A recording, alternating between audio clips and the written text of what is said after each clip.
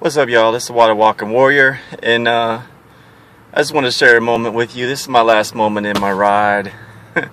Somebody totaled the Brougham. Can you believe it? The tuxedo for his glory. And uh, I ain't mad though. God is still good. You know, uh, I've been praying for a car that gets better gas mileage for a minute because this thing was draining me. I ain't gonna lie. But it's so beautiful. It's so fun to ride in. And um, I won't ever be able to listen to Plato's My Cadillac the same way unless I get another Cadillac. So uh, it may be a minute though. Uh, but your boy will be back. So I just want to share this moment with y'all. And, uh, you know, a car is just a car. We love them and we enjoy riding in them. But in the end, a car is just a car. So I am mad. I'm blessed came out of the accident with no no injuries.